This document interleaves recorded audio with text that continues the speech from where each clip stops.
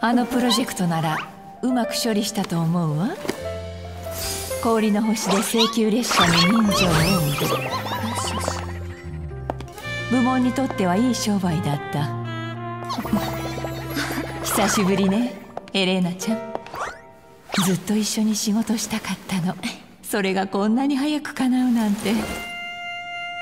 何かトラブル？何でも言って。昔のようにね。